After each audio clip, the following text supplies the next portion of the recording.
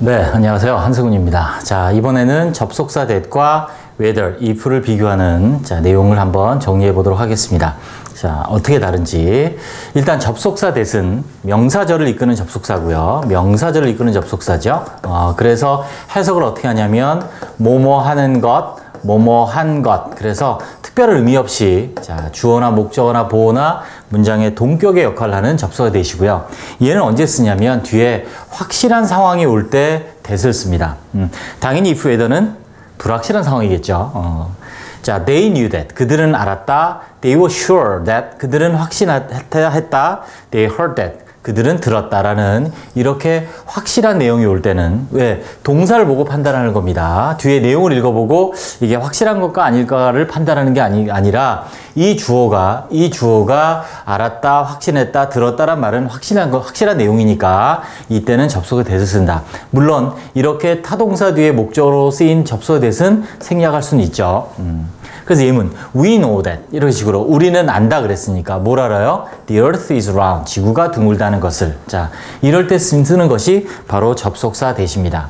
그런데 whether if의 뜻은 뭐냐면 뭐뭐인지 아닌지죠. 뭐뭐인지 아닌지의 뜻일 때, 자, 즉 이때는 언제 쓴다? 뒤에 불확실한 상황이 올 때 쓰는 것이 if나 whether다. 물론 if는 이 뜻 말고도 네 가지 뜻이 더 있습니다. 나중에 if 접속사의 뜻에 대해서도 한번 정리하는 강의를 올리도록 하겠습니다. 총 다섯 가지 가 if의 뜻이 있는데 그 중에 하나가 이제 뭐뭐인지 아니지죠. 언제 쓰이냐면 언제 쓰이냐면 접사 whether if는 이렇게 앞에 동사들이 주어 봤을 때 주어가 불확실한 얘기를 했을 때 즉 다시 말하면 they didn't know 몰랐다 they were not sure 확신하지 않다 they doubted 의심한다 했다 asked 물었다 wondered 궁금해했다 이렇게 불확실한 상황일 때는 어, whether 내지는 if를 씁니다 당연히 얘는 생략할 수가 없습니다. 없고요. 자, 그래서 he would pass the exam. 그가 시험에 합격할지 할지 안 할지 뭐 뭐 인지 아닌지를 몰랐다,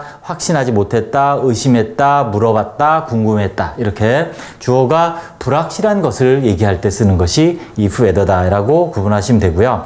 자, 이때 if를 잠깐 다시 한번 참고로 말씀드리면 if가 접속사 if가 뭐뭐인지 아닌지의 뜻으로 쓰일 때는 자 중요합니다. 타동사의 목적어로만 쓰인다.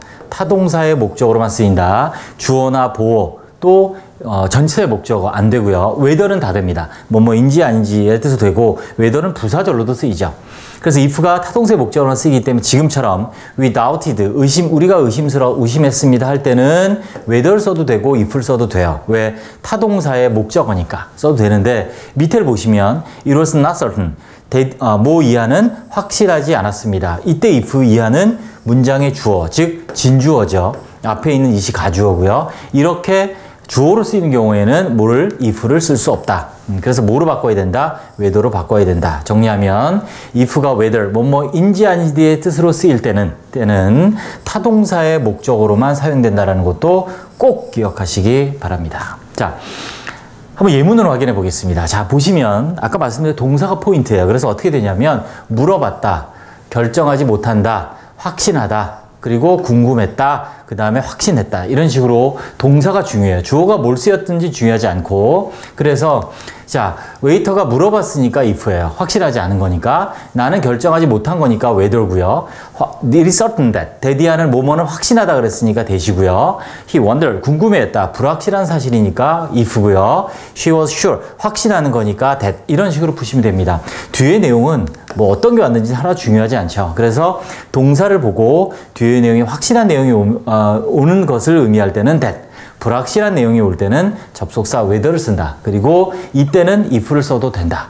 다른 경우에서는 whether 대신 if를 쓸 수 없고 if는 타동사의 목적으로만 쓰인다라는 것을 자, 기억해 주시면 되겠습니다. 네, 감사합니다.